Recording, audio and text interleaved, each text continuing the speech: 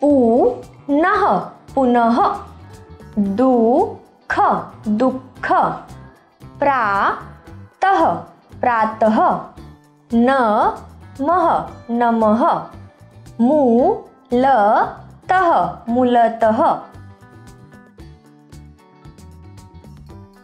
क्रमशः। क्रमशः अतः अतः।